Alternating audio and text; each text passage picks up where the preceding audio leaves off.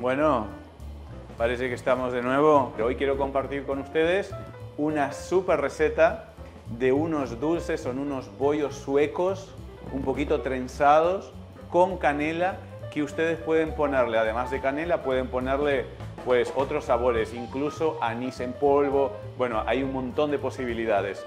De hecho, hay algunas tiendas que se dedican a hacer solo este bollo y a poner diferentes rellenos. La receta voy a dejar publicada, escrita debajo en descripción del vídeo. Tienen que pinchar una flechita que hay justo debajo de la pantalla del vídeo, a la derecha, y se te despliega todo lo que es la receta. Y nada, no se olviden de dejar un me gusta en, este vídeo y de compartir porque esta receta lo vale. Aquí tengo el modelo, han fermentado, están bien hinchados, se puede ver porque cuando presiono con el dedo se nota que están como hinchaditos, ¿ves? ¿Ves como cuando, cuando aprieto que, que vuelve a su lugar? Esta masa tiene levadura química y como todas las masas de levadura química son masas espectaculares y yo les voy a contar todos los cuidados que tenemos que tener y bueno, y sobre todo todo el paso a paso de esta receta. Estos como están listos para entrar en el horno y van a tardar más o menos unos 20 minutos, 18 minutos de cocción, lo que vamos a ir haciendo es poniéndolos ya mismo en el horno. El horno lo tengo precalentado, este horno lo tengo precalentado a una temperatura relativamente baja, pero en la casa de ustedes el horno, la temperatura que tienen que poner es 175-180 grados. Así que nada, vamos adentro con nuestros cinnamon buns, rollos de rollos trenzados de canela como se llaman, quedan deliciosos, muy muy ricos. La receta es muy muy fácil, tiene muy pocos ingredientes. Básicamente les voy a, les voy a, les voy a decir si quieren ir anotando, pero no se preocupen, lo que les dije antes es, eh, lo dejamos anotado debajo, pinchan en descripción del vídeo y ya está. Miren, harina, que son 400 gramos de harina. Esto se puede hacer a mano, pero yo lo voy a hacer en la máquina porque por cuestiones de tiempo es mucho más, más rápido y fácil. 50 gramos de azúcar, sal fina, que la vamos a poner también, son 3 gramos de sal. La sal es muy importante en todas estas recetas que llevan levadura levadura de panadero, levadura fresca, porque la sal ayuda a la coloración de la masa. Muchas veces las masas quedan blancas y es porque nos hemos olvidado de poner la sal. Súper importante. Vamos a mezclar, bueno, estoy aquí con un, con un mini batidor súper pequeñito, es simplemente para mezclar los ingredientes secos, nada más. Siempre es interesante mezclar los ingredientes secos para que la sal se distribuya en la receta y de esa manera no entre en contacto directo, no toque la levadura química, porque muchos de ustedes ya saben que la sal en contacto con la levadura seca, lo que hace la levadura fresca, perdón, la de panadero, lo que hace es extraer la humedad de la levadura y en otras palabras la mata, la deshidrata. Por eso es importante que la sal no toque, no entre en contacto con, la, con las levaduras frescas. Bueno, tenemos harina, azúcar, sal fina y ahora nos vamos con los ingredientes líquidos. Esta receta se puede hacer con agua, yo lo voy a hacer con leche. Lleva 160 gramos de leche. La leche está a temperatura, a temperatura ambiente. Ya saben que todo, siempre las medidas que doy suelo dar en gramos en vez de dar en mililitros, a pesar de que es líquido, porque es mucho más fácil pesar y de esa manera no nos equivocamos. Seguro que una balanza tienen un medidor de, volumen, ya a veces es más difícil de tener. Les he contado 160 gramos de leche entera. Ahí vamos a poner la levadura fresca, que es esta vez, la levadura de toda la vida, la que se usa para hacer panes. Si no tienes levadura fresca, como en México, por ejemplo, que usan levadura seca, no te olvides que tienes que poner un tercio de la cantidad de la receta. Esta receta lleva 18 gramos, así que tendrías que poner 6 gramos de levadura seca o deshidratada. Bueno, vamos a ir mezclando los ingredientes. Leche a temperatura ambiente, 160 de leche, 18 de levadura. Y esto lo vamos a poner con la harina La harina no les he contado todavía.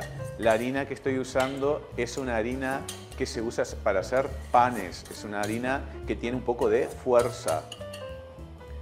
Eh, para estas masas siempre es bueno poner un poquito de harina con fuerza. Un huevo mediano y esto pues ya tenemos todo. Todo no, nos está faltando la mantequilla, la manteca como se llama en Argentina y Uruguay. Esto lo podemos amasar a mano o lo podemos amasar en la, en la batidora, despacito al principio y después, una vez que ligue todo, le damos un poquito más de velocidad. La masa tiene que quedar no muy lisa porque se te va a terminar de, se va a terminar de amasar la masa junto con la mantequilla cuando nosotros la pongamos. Pero ahora, así como está, deberíamos dejar esta masa más o menos unos 10 minutos más o menos. Bueno, como estoy viendo, como estoy viendo acá, que la masa, ¿ves? ¿Ves?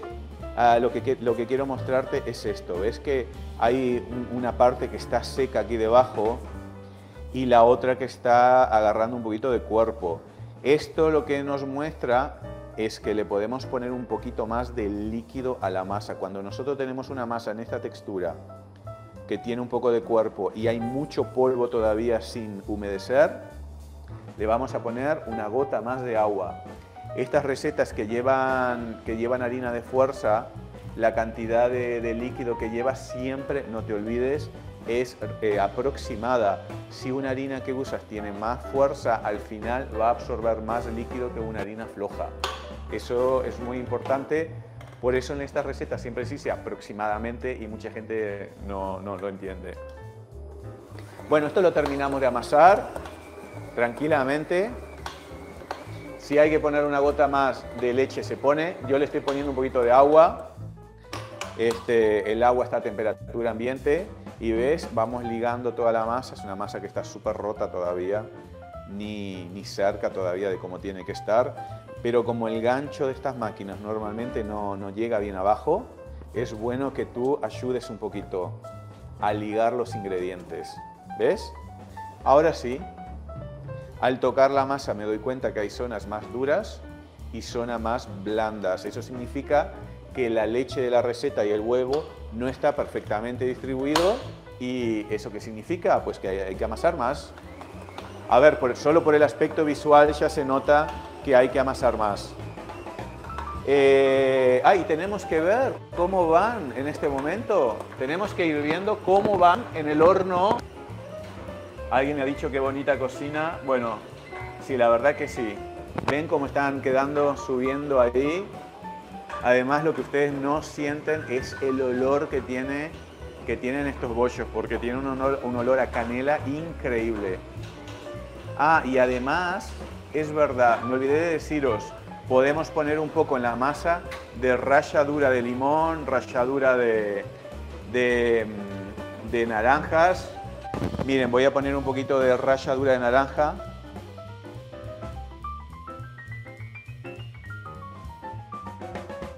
Un poquito de ralladura de naranja. Ustedes le pueden poner también un poquito de,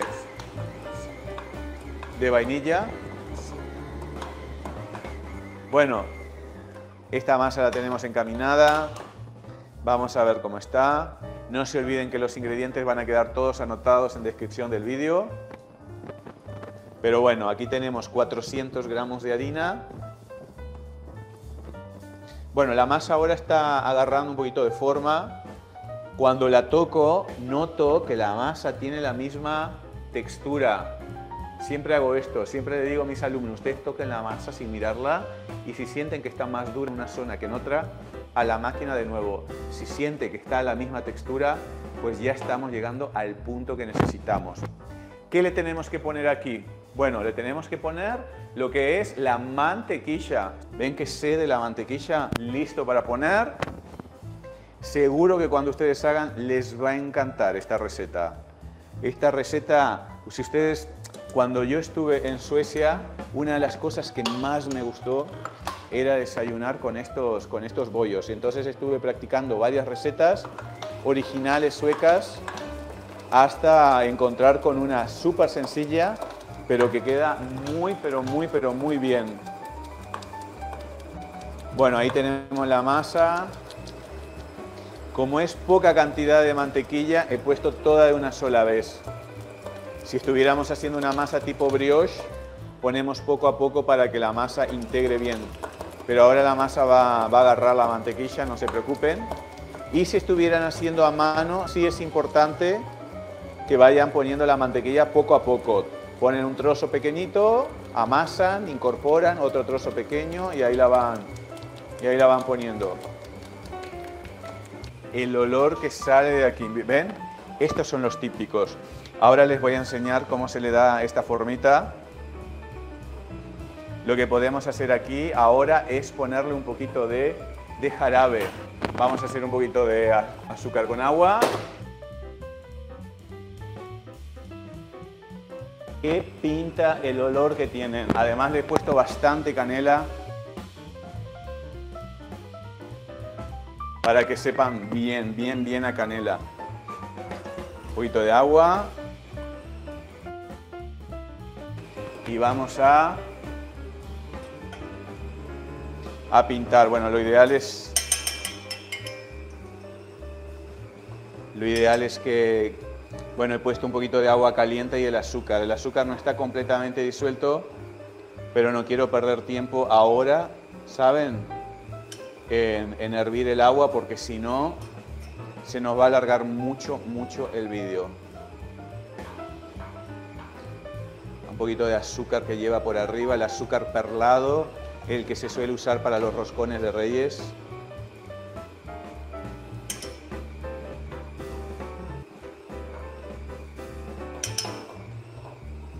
apenitas, solo para dejar un poquito más brillante nada más.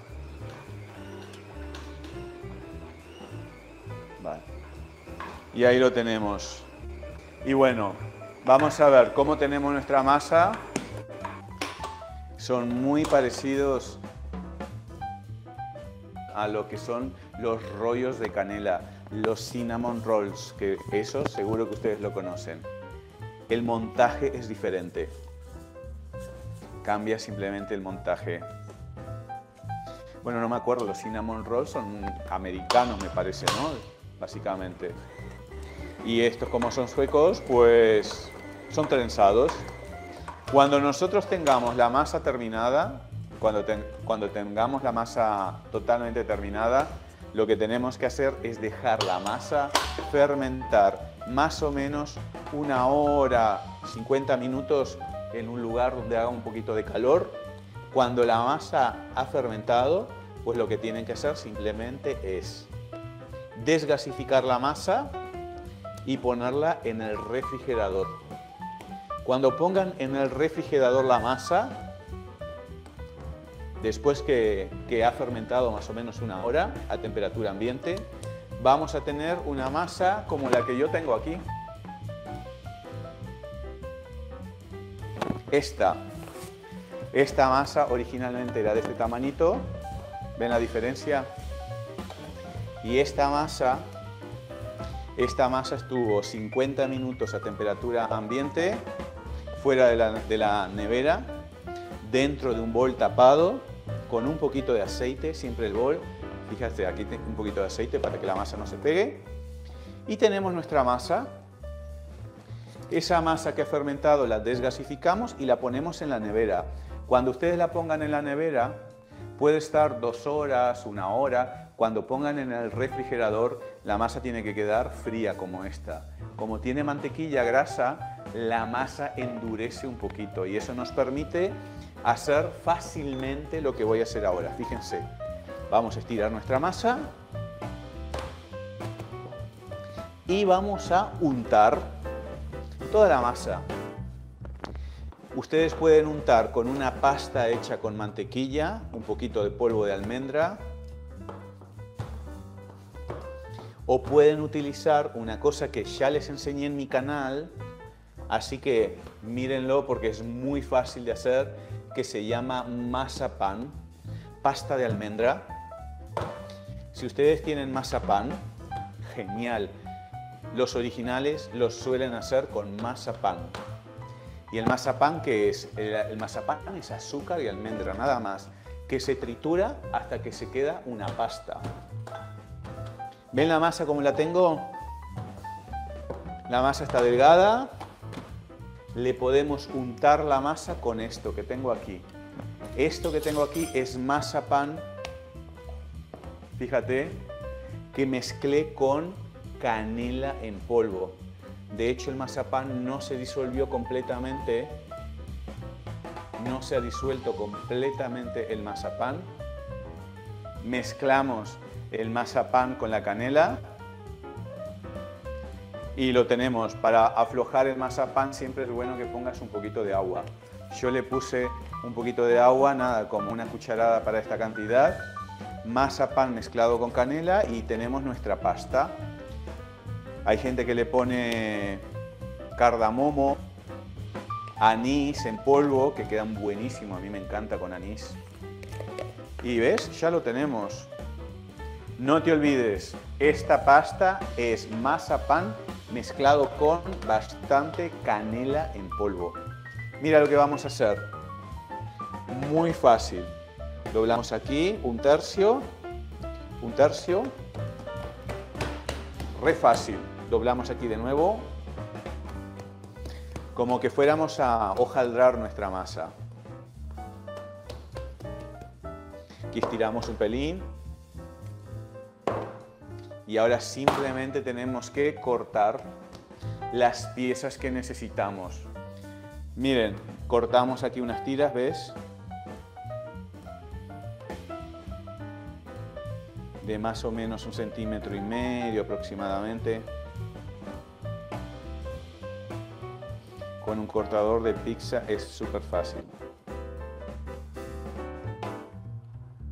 Cortamos y cortamos. Ahí está.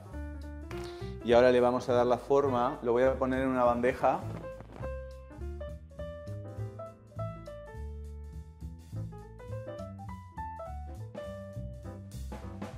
¿Ves aquí? Entonces le damos una vuelta, dos vueltas y cuando le vamos a dar la tercera vuelta hacemos esto, mira, por encima y sacamos los dedos, ¿ves? Así, tal cual. Así se hacen los cinnamon buns. Bueno, yo creo que me pase un poquito con la cantidad de, de mazapán. Siempre es mejor estirar un poquito la masa antes de, de darle la vuelta. Vamos de nuevo. Una vuelta, dos vueltas, tres vueltas y cuando llegamos ahí, ¿ves? Atravesamos por encima la punta. Esto es como un nudo. Esto lo dejamos aquí. Esto lo puedes hacer, los puedes congelar y de esa manera pues simplemente te va a quedar por sacarlos y fermentar. Cuando llegamos ahí, damos la vuelta, ¿ves? Ven cómo los tenemos. Ahí está. Seguro que ustedes van a tener unas buenas ideas para hacer unos rellenos diferentes. Si alguno me preguntará alguna receta de pasta de frambuesas o algo para poner aquí y hacerlos. Ahí está. Damos la vuelta por encima. Siempre la punta tiene que quedar debajo para que no se desenrosque, no se abra cuando está dentro del horno. Bueno, amigos, esto prácticamente lo tengo. Ahora lo tendríamos que dejar fermentar, leudar, hasta que casi dupliquen de tamaño. Mira, este está súper bonito. Estos los probé cuando estuve en Suecia y me moría por aprender, por conocer la receta. Y me lo ha conseguido un amigo que es sueco. Así que son originales. ¿Ves? Estos tienen que fermentar y una vez que crezcan de tamaño, que fermenten, van a quedar como los que les voy a mostrar ahora, que los tengo reservado aquí. bien hinchaditos. ¿Ven? ¿Cuánto ha tardado en fermentar? Pues ha tardado más o menos estos una hora más o menos. Los tenía en un lugar bastante calentito y, los he dejado afuera de la, a temperatura ambiente para que no sigan subiendo más. Así me daba tiempo de hacer el vídeo, hacer la receta y llegar a este momento. Con dulce de leche esto, el problema del dulce de leche es que se sale mucho de adentro, pero bueno, se podría probar con el dulce de leche repostero. Quizás mezclando, ¿saben qué? Mm, he tenido una buena idea. Mezclar el dulce de leche con nueces trituradas. Eso debe quedar buenísimo. Bien trituradas las nueces, se mezcla con dulce de leche y se extiende. Y ahora voy a poner un poquito de azúcar perlado, este que es un azúcar un poquito duro, el que se usa para los roscones de reyes. Pero ¿por qué lo estoy poniendo? No es especialmente porque me gusta, sino porque los originales llevan este azúcar. Bueno, tendría que pedir a una de las chicas que está debajo un café para probarlo, pero esto lo vamos a probar así. Bueno, yo tengo aquí algunas personas que están mirando que seguro que se van a morir por comer. Miren, vamos a ver cómo está. Debajo está tiernito y arriba crujiente la masa. Con dulce de membrillo, esto sí, puede quedar muy bien. Esa es muy buena idea. Mm. Mm.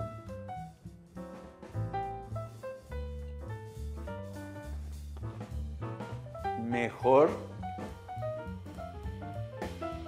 mucho mejor de lo que me esperaba. Están buenísimos. Amigos, muchas gracias. No se olviden de compartir el vídeo y dejar un like. La receta la voy a dejar publicada debajo. Solo tienen que pinchar ahí. Y si no, miran el vídeo que les he contado, les he dicho la receta. Nos vemos en el próximo vídeo y, y nada, ha sido un placer. Me quedo aquí con mi cinnamon buns.